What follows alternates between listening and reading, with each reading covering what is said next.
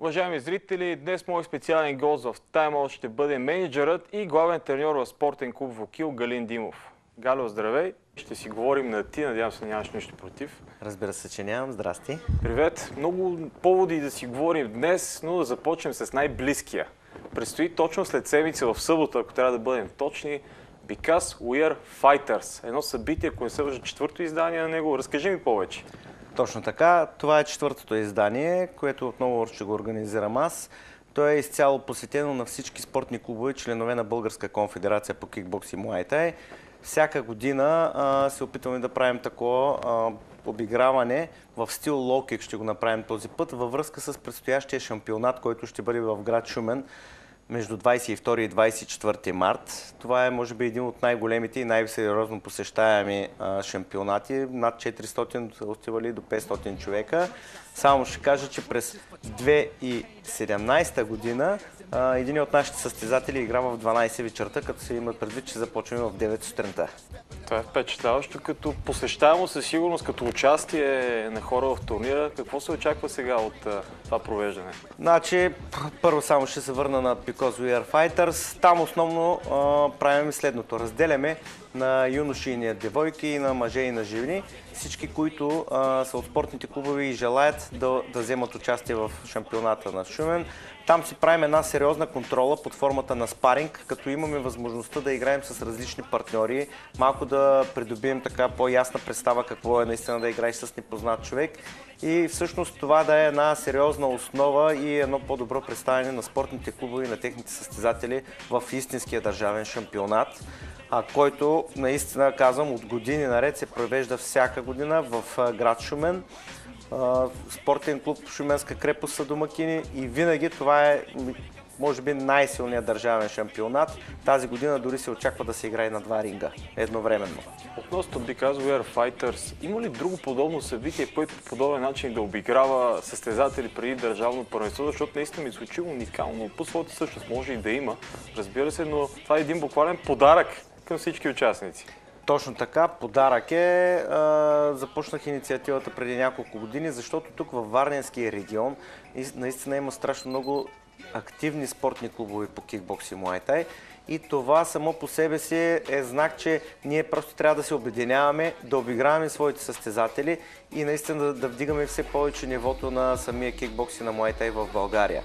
Знам, че и в другите региони ги оправят, но може би не чак толкова, а, не се чува чак толкова или може би не се събират чак толкова много хора, но това е една добра основа преди всяко едно състезание за всеки един спортен клуб, който иска да изкара истински бойци, които да дадат най-доброто от себе си. Това е генералната репетиция. Кажи отново къде, кога? В събота на 9 март в многофункционалната спортна зала на първа езикова гимназия като са поканени абсолютно всички спортни клубове на, на конфедерацията, заедно с техните състезатели. И много важен, вход свободен. Абсолютно вход свободен. И относно предстоящия шампионат в град Шумен, как гледа клуб Вокил към него? Клуб Вокил гледа много, много сериозно. Надявам се да изкараме минимум между 12 и 14 човека в всички възрастови групи, които са допустими в самия шампионат и наистина да се представим добре. Там имаме доста сериозни успехи лоу-кик, К1 и Muay са нашите стилове. А на изминалото първенство пък в фул контакт, ако не се лъжа, което се проведе във Варна преди седмица, Куб Вокил взели участие. Разбира се, взехме участие. Шест души взеха участие в този стил. мога да кажа, че наистина от шесте души, пет от тях бяха дебютанти буквално в този стил на игра. и наистина постигнахме така един доста сериозен успех три бронзови, два сребърни и един златен медал. Това на база дебютанти? На база дебютанти на един състезател, който е играл от една година. Това наистина е впечатляващо. Човек Клуб Вокил набляга върху работа с по-млади хора, търси очевидно и дебютанти за разрастване на кадрите. Точно така е, защото имаме няколко подготвителни групи и се надяваме, че по този начин вече те те първо ще почнат да израснат като състезатели и се надяваме да запазим доброто име на град Варна като меката на бойните спортове и ние да имаме принос в това. Хващам се за думите ти. Меката на бойните спортове. Успоредно с този държавен шампионат се проведе и първата професионална бойна гала вечер у нас. Сенши, ти беше много важна част от нея, макар че разбира се в сянката на всички бойци, но ти беше рефер на някои от най-интересните двубои. Кажи ми повече за чувството да си по средата на ринга, разбира се и за двубоите, ако може за всеки един от тях да споделиш по нещо и за организацията като цяло. Значи, ще по, малко ще почна отзад напред за организацията като цяло. Освен, че съм рефер и съдия, а също съм участвал в организацията и на други бойни гали вечери. И смея да кажа, че тази беше в, може би, няколко нива над всичко останало, което съм виждал до момента и в което съм участвал. И то безспорно си личеше. Определено, чисто организационно. И подбор на матчове. Матчмейкъра, който беше, ги е избрал тези бойци, просто мога да му кажа нали, едно огромно браво за това, което е направил и е предоставил това страхотно шоу тук в град Варна. Иначе, като рефер, мога да кажа нали, за мачовете, които гледах от, от първия лице. ред, от първо лице. А, бяха страхотни, бях на, на Огнян Мирчев, който всъщност отказа своя противник. Мога да кажа, че това момче има много сериозен прак на болка. Бях свидетел на всички удари, които той понесе и който той нанесе. Бях свидетел на нивото, което показа и бях свидетел как просто духът на боец победи в този матч и буквално отказа противника си и имах честа да вдигна неговата ръка. Следващия матч, за който се сещам, така, на примависта Константин Михайлов с Севдалин, който... Уникален матч. Беше другото. наистина страхотен. Това момче го познавам буквално още от, от както ми стигаше под рамото. Той е израсна по залите и наистина прави в момента един страхотен фурор в бойните спортове, за което мога единствено да благодаря на неговия треньор Иван Иванов, който е от Нова Загора и на техния спортен клуб Pride and Glory. Страхотно момче. Просто показва, че това е истинско ниво на кикбокса. За останалите матчове ти също си ги гледал, а и останалите зрители, мога само да кажа едно огромно отново браво. Димитър Пенчев, страхотен нокаут, просто невероятен. Страхотен подбор на игра, тактика, въобще всичко си беше както трябва.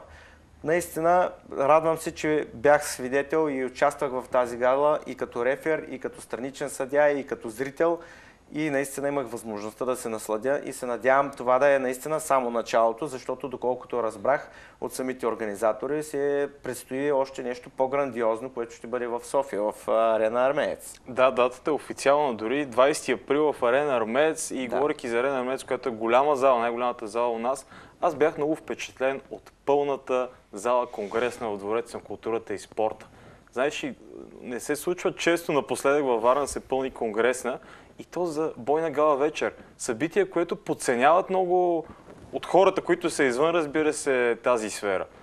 Да, така е наистина. На мен също ми направи страхотно впечатление, но и тук е важно нали, да се вметне, че всъщност главният организатор за Армеец направиха един а, страхотен жест а, към спортните клубове буквално на мене ми беше така дадена възможността и официална маса и да поканя свои гости, които да, да посетят а, тази гала вечер с пропуски. Но това, разбира се, беше само една малка капка в морето. Просто благодаря на всички варненци, които успяха и имаха възможност и, и желание и дойдоха и закупиха своя билет и посетиха тая страхотна гала вечер и напълниха залата догоре. Според мен добро стечение на обстоятелствата и всички тези млади момчета, които бяха тогава успоредно в Двореца културата и спорта с държавния шампионат, да видят от първо лице евентуални свои идоли, да могат да посетят събития от подобен мащаб, това със сигурност влияе много положително на тяхното развитие. Да, наистина е много положително и много мотивиращо. Буквално след държавния шампионат и след сдалата Сенши, имаше поне още десетки а, желаящи да се запишат в бойните спортове и да последват с пътя на бойците. Имам едно впечатление като човек, който обаче е извън бойните спортове, в контекста на кикбокса и муайтая. Защо ми се струва, че вие сте там едно голямо семейство, повечето от клубовете, ако не и всички. Наистина виждаме едно сплотяване на колектива и как хора от различни клубове подкрепят състезател от някой друг клуб, когато той си бие на някакво високо ниво. Например, както беше случая с Християн Корунчев за титулата. Да. Наистина ли е така? Абсолютно е така. А, така сме възпитани бойците. Когато се съревноваваме помежду си между клубове, да, всеки държи на своя клуб, но когато излиза някой от България и иска да покаже нещо много, на много по-високо ниво, всички сме задружни и го подкрепяме, защото това е нужно. Той го усеща дори и вътре в ринга, дори аз като рефери съдия усещам а, положителната енергия на публиката, която всъщност те зарежда и ти дава още по-голям така стимул да победиш. Наистина е много важно и за нас това да бъдем като част, като, една голямо, като едно голямо семейство, наистина е важно да се подкрепяме. Искам да ми споделиш малко повече за предизвикателствата под това да ръководиш един клуб за бойни спортове. Ти като един менеджер, президент, председател а, на клуб Вокил, кажи какви са трудностите в момента? Особено в момента. Ами, трудностите в момента а, са, че, как да го кажа, аз всеки ден трябва да съм в залата. И сутрин, и вечер. Успоредно с това трябва да работя. И успоредно с това трябва да отговарям и пред семейството си. И всичките тези неща трябва да ги съчетавам. В личен план, наистина това е за мен трудността. Мога да кажа, че сутрин ставам буквално от 6.30 и се прибирам вечер към 9.30.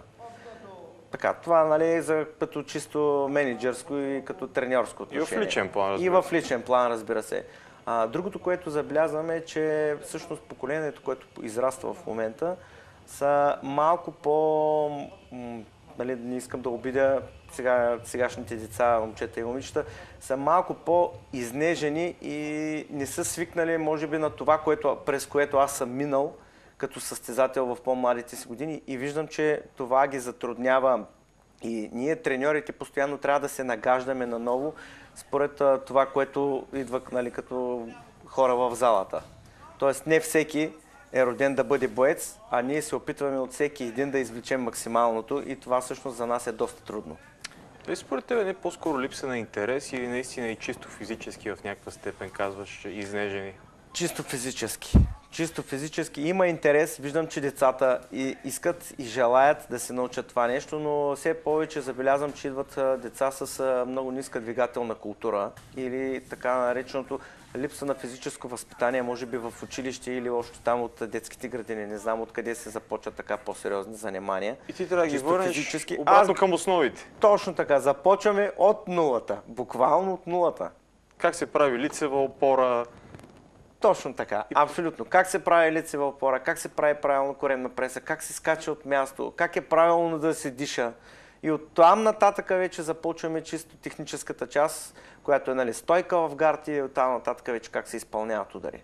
Наистина това нещо до сега преди, преди няколко години го нямаше, а сега вече и това дойде на нашите плещи и наистина това малко допълнително затормозява самата подготовка на един състезател колко състезатели в момента, колко хора, да не кажем състезатели, тъй като не всички, които идват в твоя клуб да тренират, активно се състезават, колко души в момента тренират в клуб Вокил? В клуб Вокил тренират 40 човека. От тях 10 са със сигурност, които мога да кажа, нали, че мога да, да изведа на състезание, че имат необходимата подготовка, необходимата база и могат да представят добре клуба. Това е горе-долу така като числа.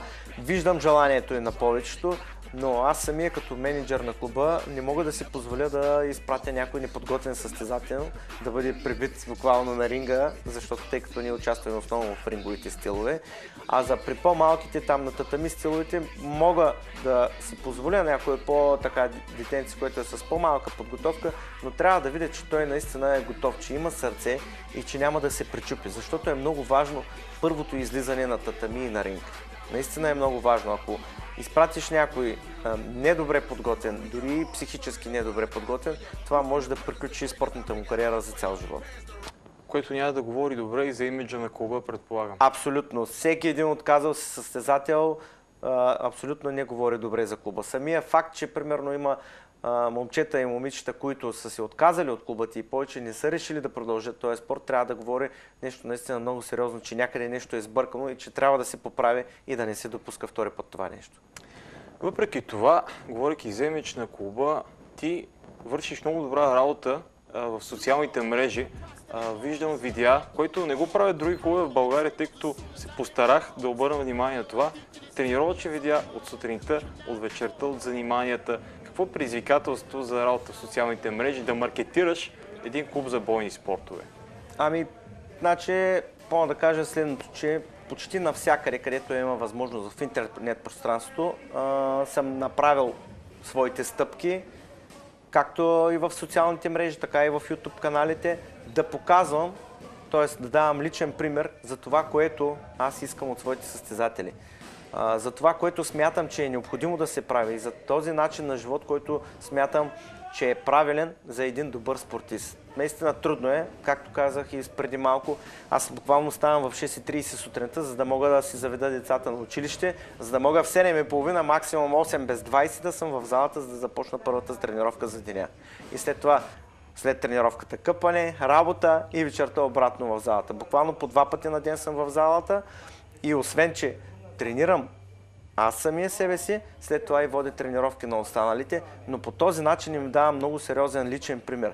И те го виждат това нещо и а, така да го кажа на чист нали, жарган, се надъхват още повече и наистина се получават много добри тренировки и от това нещо излизат и добри състезатели. Виждал съм го, правя го, получава се, затова смятам, че това е правилният вариант и социалната мрежа всъщност е една добра трибуна, ако смея да го нарека по този начин, да видят повече хора и да се престрашат. Защото разбиранията на много от, да кажем, от родителите е, че когато отиваш да тренираш боен спорт, там отиваш, дават ти едни ръкавици и почват другите да те бият, докато ти не се научиш да се видиш. Или пък а, другото, което бях чувал доскоро, нали, за бокса основно да. и за кикбокса, отиваш и трябва да ти щупят носа. Това са глупости. Това е за това, първо че... препятствие. Точно така. И за това чрез тези видеозаписи, чрез тези клипове, които пускам в социалните мрежи, искам да покажа какво всъщност са бойните спортове и че това е един начин на живот на боец, който ще ти помогне не само в ринга и в залата, а и в живота. Ако искат повече хора да видят за това какво са наистина бойни спортове, да заповядат в събота. Разбира се, да заповядат в събота на 9 март в функционалната зала на Първа Зикова гимназия, да видят с очите си как сме подготвили ние хората за следващото състезание. За финал, Галио, какво си пожелаш в остатъка от 2019 година? Пожелавам си здраве, късмет, много шампиони и едно много по-високо ниво на българския кикбокс и муайтай. Благодаря ти, за мен беше огромно удоволствие да ми гостуваш. Уважаеми зрители, това беше всичко от днешното издание на Time Out с пожелание за лека и спокойна вечер. Останете с програмата на телевизия Черно море.